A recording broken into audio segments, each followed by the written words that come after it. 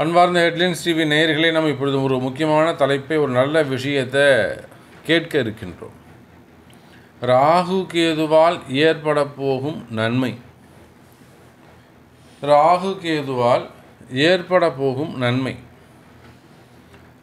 அது பொதுவாக ராகு கேது அப்படின்னு சொன்னாலே நம்மளுடைய கவனத்திற்கு என்ன வரும்னாக்கா ராகுனாலே ஒரு தீய கிரகம் கேதுனாலே ஒரு தீய தடுக்கக்கூடியவர் ராகுனா தடுக்கக்கூடியவர். ராகுனா தீய பழக்கங்களை உடையவர். அவங்க ரெண்டு பேரும் பாம்பு அதை பார்த்தாலே பயப்படணும். அவங்க இருக்கிற இடத்த பார்த்து தான் நம்ம முடிவு பண்ணணும். அப்படின்னு அசுப பலன்கள் தான் நமக்கு ஞாபகத்துக்கு வரும். இந்த ராகுவும் கேதுவும் இப்போ என்ன செய்கிறாங்க அப்படின்னு கேட்டிங்கனாக்கா ஒரு அதிசயம் நடக்குது. இது வருஷா வருஷம் நடக்கக்கூடிய ஒரு விஷயந்தான் இந்த ஜூன் மாதம் மூன்றாம் தேதி முதல் ஆகஸ்ட் மாதம் நான்காம் தேதி வரை மூணு ஆறு இரண்டாயிரத்தி இருபத்தி ஒன்று முதல் நாலு எட்டு இரண்டாயிரத்தி இருபத்தி ஒன்று வரை. இந்த ராகுவும் கேதுவும் ராகு பகவான் அனுஷ நட்சத்திரம் நான்காவது பாதத்திலும் ஆமாம் கேது பகவான் அனுஷ நட்சத்திரம் நான்காவது பாதத்திலும் ராகு பகவான் ரோகிணி நட்சத்திரம் இரண்டாவது பாதத்திலும் சஞ்சாரம் செய்கிறார்கள். இதில் என்ன சாமி ஒரு அதிசயம் இருக்குது அப்படின்னு கேட்டிங்கன்னா இந்த ராசி கட்டத்தில் ஒன்றாவது சாட்டில் ஒன்றாவது ராசி கட்டத்தில் இந்த ராகுவும் கேதுவும் எங்கே இருக்கிறார்களோ அதே இடத்துல அதே அமைப்பில் வர்க்கோர்த்தமம் என்று சொல்லுவார்கள். நவாம்ச கட்டடத்திலும் அதே இடத்துல ராகுவும் கேதுவும் அமைகிறார்கள். அப்போ இந்த ராகுவும் கேதுவும் ஒரே டிகிரியில் ஒரே சமயத்தில் ஒரே இடத்துல இருக்கிறாங்க அப்படின்னு வச்சுக்கோங்களேன்.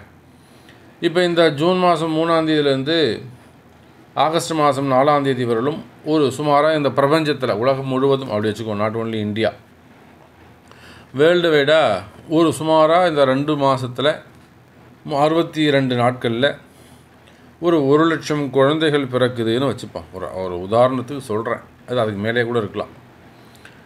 அப்போது வேர்ல்டு வைடு இந்த அறுபத்தி ரெண்டு நாட்களில் ஒரு லட்சம் குழந்தைகள் பிறக்குது என்று சொன்னால் அந்த ஒரு லட்சம் குழந்தைகளுடைய ஜாதகத்திலும் ஜனன ஜாதகத்திலும் ராகுவும் கேதுவும் வர்க்கோர்த்தமம் பெற்று அதாவது ஆட்சி அதிகாரம் பெற்று முழு திறமை பெற்று வலிமை மிக்கவர்களாக ராசி கட்டத்திலும் நவாம்ச கட்டத்திலும் ஒரே இடத்தில் சஞ்சாரம் செய்வார்கள். இது ஒரு தனிச்சிறப்பு. எப்படி இப்போ பிறக்க போகிற குழந்தைக்கு குரு வக்ரம் சனி வக்ரம் அப்படின்லாம் இருக்கு செவ்வாய் நீச்சம் அப்படின்லாம் இருக்குமோ? அதை போலவே இந்த ராகு கேது வர்க்கோத்தமம் இருக்கும். அப்போ இது ஒரு கிரக அமைப்பு. இதனால் நிறைய மாற்றங்கள் இந்த பிரபஞ்சத்தில் நிகழ்ந்துகிட்டு இருக்கு. நாம் இதெல்லாம் பார்த்துட்டு தான் இருக்கோம். சரி. இந்த ராகு கேதுடைய வர்க்கோத்தம ராகுன்னு என்ன சாமி ராகு செஞ்சிடுவார்? ராகு என்ன அவ்வளோ பெரிய பிரம்மாண்டமா அப்படின்னு கேட்டிங்கனாக்கா நிச்சயமாக ராகு என்று சொன்னாலே பெரு மிகப்பெரியது. எதெல்லாம் ரொம்ப பெருசாக இருக்கோ அதெல்லாம் ராகு. இதெல்லாம் ரொம்ப சின்னதாக இருக்கோ அதெல்லாம் கேது. மிகப்பெரிய சார் ஒரு பிரம்மாண்டமான ஒரு செட்டு சார். அப்படின்னு சொன்னால் பிரம்மாண்டம் அப்படின்னு சொல்லிட்டாலே அது ராகு. சார் ஒரு சாதாரண ஒரு சின்ன இது சார் சின்னது அப்படின்னு சொல்லிட்டாலே அது கேது. அப்போ இந்த ராகுவை பொறுத்தவரையிலே ஆசையை தூண்டக்கூடியவர் ஒவ்வொரு மனிதனுக்கும். அது கோச்சாரத்தில் பதினெட்டு மாதங்கள் ஒன்றரை வருஷத்தில் அதாவது பதினெட்டு வருஷத்தில் கொடுக்க வேண்டிய துன்பத்தை பதினெட்டு மாதத்திலே அவர் சூழ்நிலையை மாற்றிடுவார் இந்த ராகு என்ன செய்வார்னு பார்த்தீங்கன்னாக்கா அடிமட்ட லெவலில் ஒரு சாதாரண அடுத்த வேலை உணவுக்கு கஷ்டப்படக்கூடிய ஒருவனை மிக பெரிய செல்வந்தனாக மாற்றிடுவார் உதாரணம் பில்கேட்ஸ் ஆமாங்க. நடுநிலையில் ஒரு சாதாரண ஃபேமிலியில் பிறந்தவர். ஆனால் இன்றைக்கி எத்தனையோ கோடிக்கு அதிபதி. அதே போல் மிக பெரிய உயர்ந்த நிலையில் இருந்தவர்களை கூட தலைகீழாக மாற்றி விடுவார். இதுக்கு நம்ம பேர் சொல்ல முடியாது. நிறைய பேர் இருக்காங்க. அப்போது ஒரு சாதாரண நிலையில் இருக்கக்கூடிய உயர்ந்த நிலைக்கு மாற்றுவதும் உயர்ந்த நிலையில் இருக்கக்கூடிய ஒருவரை தலைகீழாக குப்புற படுக்க வைக்கிறதும் யாருடைய வேலைங்க? ராகுவுடைய வேலை. அப்போ எப்பேற்பட்ட காரியத்தை அவர் செய்கிறாரு அப்படின்னு கேட்டிங்கனாக்கா எதையும் செய்து காட்டக்கூடிய திறமை ராகுக்கு இருக்குது அதனால தான் அவரை பிரம்மாண்டம் அப்படின்னு சொல்கிறோம் அதே போல் தாங்க கேது. பொதுவாக ஒரு சாதாரண ஒரு மனிதர் ஒரு ஒரு கம்பெனியில் ஒருத்தர் வேலை செய்கிறாருன்னு வச்சுப்போமே இல்லை ஒரு நார்மலாக ஒரு ஒரு கடை வச்சுருக்கிறார் இல்லை ஒரு தள்ளுவண்டி பிஸ்னஸ் பண்ணுறார் தள்ளுவண்டியில் ஒரு பழம் வச்சுருக்கிறாருன்னு வச்சுப்போமே இல்லை ஒரு டீ கடையில் ரெண்டு பேர் டீ சாப்பிட்டுட்டு இருக்காங்க. பாரு இது இங்கே வந்து இவருக்கு அந்த இவருக்கு அமைச்சருக்கு ஒரு ஐம்பது கோடி ஐநூறு கோடி கிடச்சிதான்ப்பா எனக்கு அதில் ஐநூறு கோடி வேணாம்ப்பா ஒரு அஞ்சு கோடி வந்தால் கூட போரும் எனக்கு. இந்த அஞ்சு கோடி வந்தாலே போரும்ப்பா எனக்கு அப்படின்னு. சாதாரண ஒரு மனிதன் வாழையில் கோடி அப்படின்னு வந்துட்டாலே அங்கே ராகு வந்துட்டார் அவர்கிட்ட ராகு இருக்கார் ஆசை வந்துடுதுன்னு அர்த்தம். அப்போ அவர் சொல்லலை அந்த வார்த்தையை உள்ள ராகு இருந்து ஆக்டிவேட் பண்ணுறாருன்னு அர்த்தம். அப்போ எப்போ அவர் வாயிலிருந்து கோடி அப்படின்னு வருதோ அந்த ஆசையை தூண்டக்கூடியவர் ராகு. அதில் பாதாளத்துக்கு இழுத்துன்னு போகிறாருன்னு அர்த்தம். கவனம் தேவை. அதுலேருந்து காப்பாற்றக்கூடியவர் தான் கேது. ஒரு மனிதனுக்கு எத்தனை எத்தனை சுகபோகங்கள் உண்டோ இன்பங்கள் உண்டோ எல்லாத்தையும் கொடுத்துருவார். யார்? ராகு. கிட கிட கிட கிடன்னு எல்லா மகிழ்ச்சியும் கொடுத்துட்டு போகும்போது மொத்தத்தையும் உருவிண்டு போயிடுவார். அது ராகு.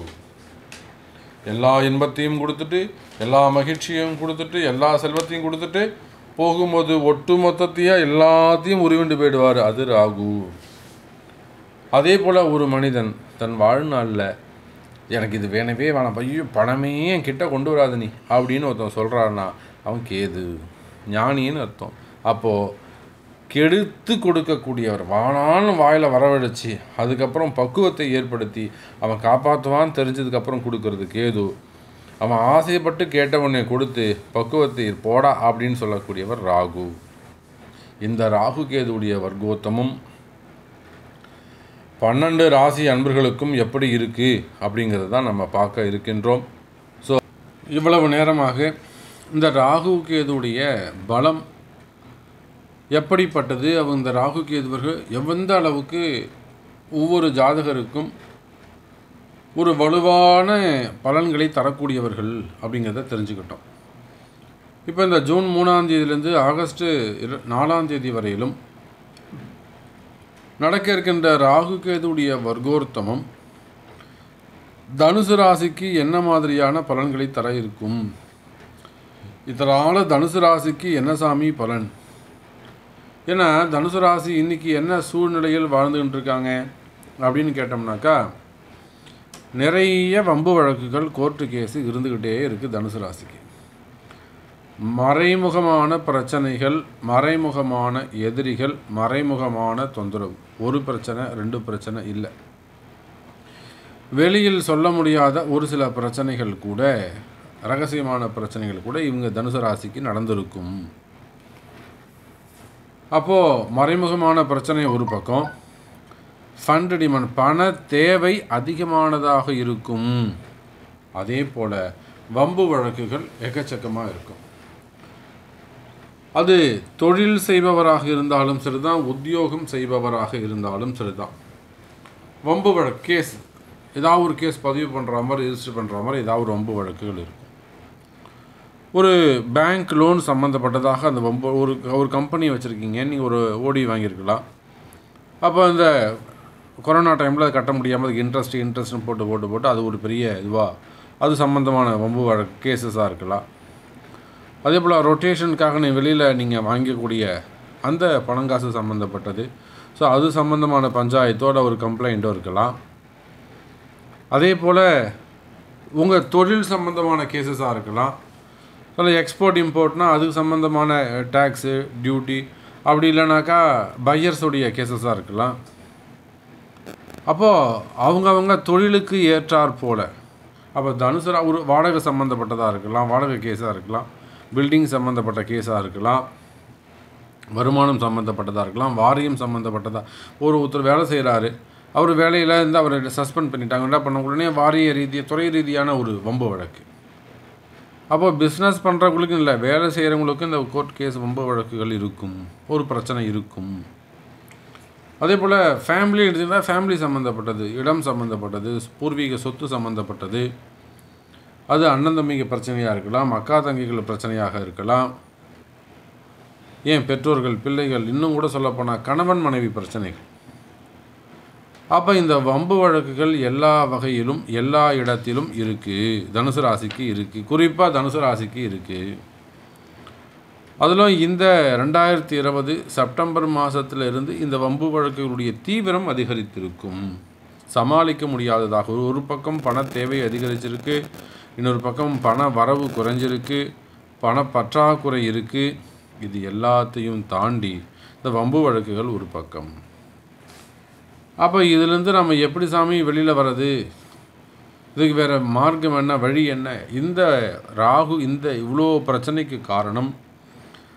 தனுசு ராசி என்பர்களே இவ்வளோ பிரச்சனைக்கு காரணம் உங்களை கொண்டு போய் அந்த கார்னரில் நிப்பாட்டினது அந்த சூழ்நிலையில் நிப்பாட்டியது ராகு. அந்த கலகத்தை உண்டு பண்ணி அந்த மாதிரி ஒரு தோற்றத்தை ஏற்படுத்தியது ராகு. அப்போது இந்த வம்பு வழக்குகளுக்கெல்லாம் இந்த பிரச்சனைகளுக்கெல்லாம் நல்ல தீர்வு சொல்லக்கூடியவர் கேது. ஆகவே இந்த அறுபத்தி ரெண்டு நாட்கள் அல்லது இரண்டு மாதங்களை கட்டாயம் இந்த தனுசு ராசி அன்பர்கள் பயன்படுத்தி கொள்ள வேண்டும். கட்டாயம் தனுசு ராசி அன்பர்கள் இந்த இரண்டு மாதங்களை பயன்படுத்தி கொள்ள வேண்டும். சரி நீங்கள் சொல்கிறது எல்லாமே கரெக்டாக சாமி எனக்கு ஒத்து போகுது. நீங்கள் ஜென்ரலாக சொல்லக்கூடிய பலன்களே எனக்கு ஒத்து போகுது. அப்போ நான் இந்த பிரச்சனையை எனக்கு தீர்த்து வைக்கணும். ராகு கேதுவால் ஏற்பட்ட இந்த பிரச்சனையை எனக்கு முடிச்சு கொடுக்கணும். அதுக்கு நான் என்ன பண்ணணும் சாமி? அப்படின்னு கேட்டிங்கனாக்கா தனுசு ராசி அன்பர்களுக்காக ஸ்பெசிஃபிக்காக தனுசு ராசி அன்பர்களுக்காக இந்த ஜூலை மாதம் இந்த ராகு கேதுவுடைய வர்க்கோர்த்தம பிராயச்சித்த ஹோமம் நடைபெறுகிறது. அதில் உங்களுடைய பிரச்சனை அல்லது நீங்கள் உங்களுக்கு நன்மை நடைபெற வேண்டும் என்று விரும்பினால் நீங்கள் கலந்து கொள்ளலாம். கலந்துக்கிறதுக்கு என்ன பண்ணணும்? கீழே தெரியக்கூடிய அந்த நம்பருக்கு ஒரு ஃபோன் செய்து தொடர்பு கொள்ள வேண்டும். உங்களுடைய பெயரை பதிவு செய்து கொள்ள வேண்டும். அதற்கான கட்டணத்தை செலுத்தி நீங்கள் உங்கள் பெயரை பதிவு செய்து கொள்ள வேண்டும். ஸோ இந்த ராகு கேதுடைய வர்க்கோர்த்தமும் தனுசு ராசிக்கு நன்மை செய்ய வேண்டும் நன்மை தர வேண்டும் என்று நான் வாராகி அன்னையை பிரார்த்திக்கிறேன் வேண்டுகிறேன் என்பதை சொல்லிக்கொண்டு அன்பணியர்களே பதிவின் தொடக்கத்தில் சொன்னதைப் போல எல்லாம் வல்ல நம்முடைய அன்னை வாராகி தேவிக்கு ஆலயம் கட்ட வேண்டும் என்பதுதான் நம்மளுடைய நோக்கம். அதுக்காக இடம் தேடி கொண்டிருக்கிறோம். யார் அந்த பாக்கியசாலி? யாருக்கு அந்த பூர்வ புண்ணியம் இருக்குது அப்படிங்கிறது எங்களுக்கு தெரியலை. ஸோ அந்த தகுதி அல்லது அந்த எண்ணம் சிந்தனை வாராகக்கூடிய உத்தரவு உங்களுக்கு கிடைக்குமேயானால் கீழே தெரியக்கூடிய அந்த நம்பருக்கு ஒரு ஃபோன் செய்யுங்கள் தொடர்பு கொள்ளுங்கள் என்பதை தெரிவித்துக்கொண்டு நம்மளுடைய பெஸ்ட் சர்வீஸ் அப்படின்னு பார்த்தீங்கன்னாக்கா நம்ம ஜாதகம் எழுதி தரும். அதே போல் துல்லியமான பலன்கள் சொல்கிறோம் இது இல்லாமல் ஆலய கும்பாபிஷேகங்கள். ஸோ அது ரொம்ப சிறப்பாக அதை செய்து கொடுக்குறோம் உலகம் முழுவதும். அந்த ஆலய கும்பாபிஷேகங்கள் ஆலயம் சார்ந்த எல்லா விதமான பூஜைகள் எல்லா விதமான பரிகாரங்கள் ஆலய பரிகாரங்கள்.